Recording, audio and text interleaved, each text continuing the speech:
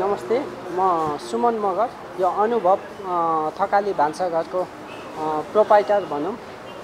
धन्यवाद दिन चाहन्छु एमबी मिडियालाई यो अवसर यो मौका मेरो दुःख पीडा मेरो यो अनुभूति गर्ने मौका तपाईँहरूले दिनुभयो। एकदम धन्यवाद दिन चाहन्छु।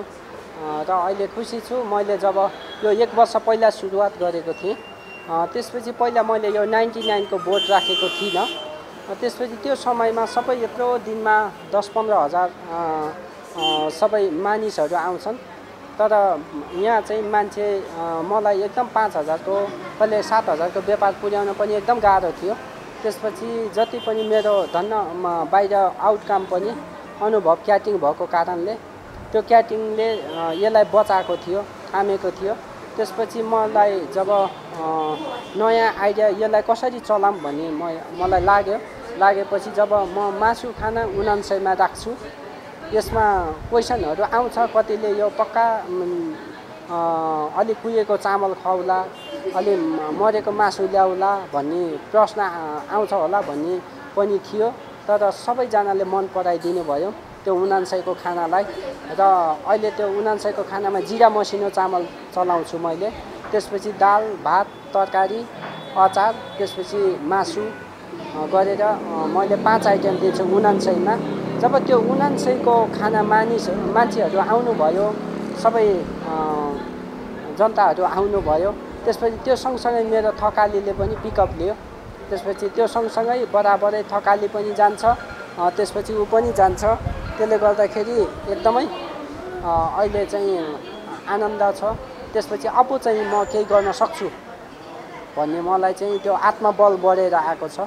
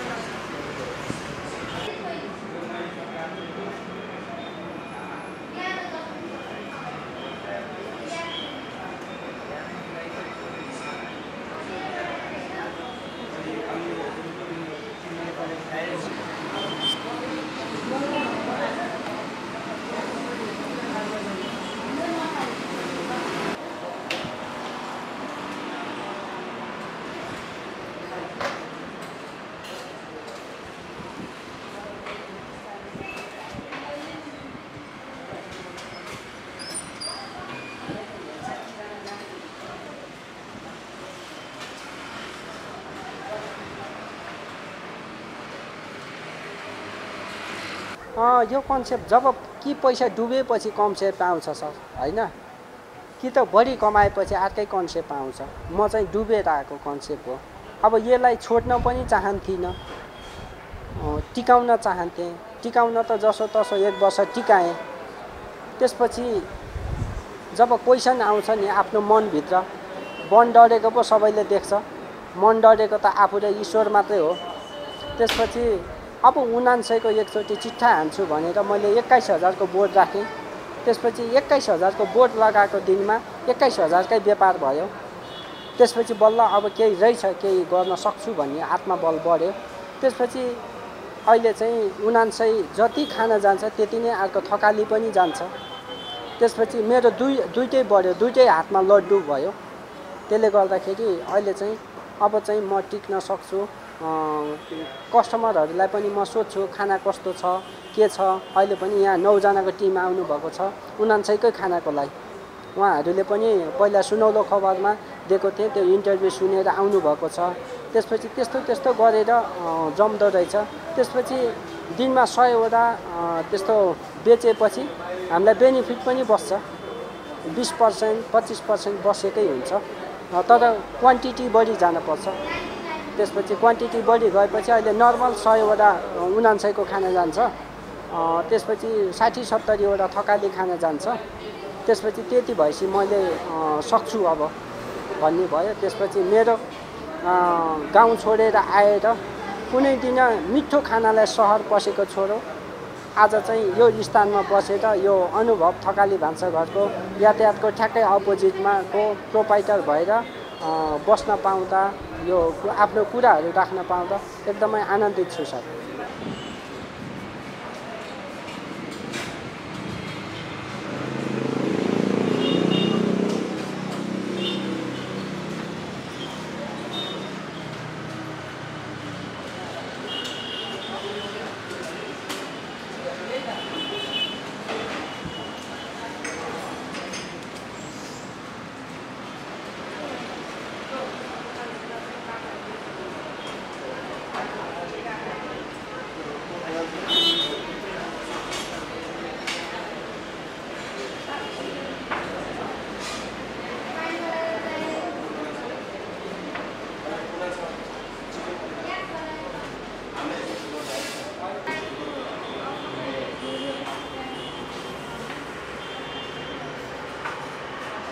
अब